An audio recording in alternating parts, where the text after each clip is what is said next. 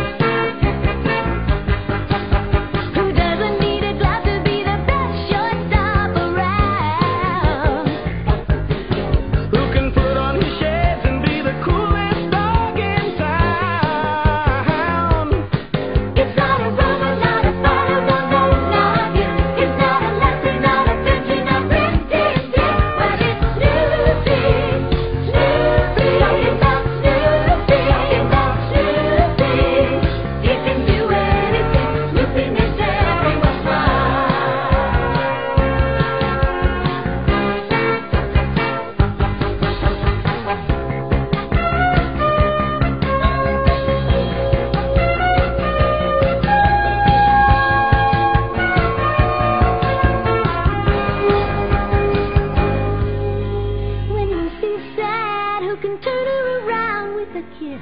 Yes, Snoopy, it's got to be him. When Charlie Brown needs a friend, who's the first one that he'll meet?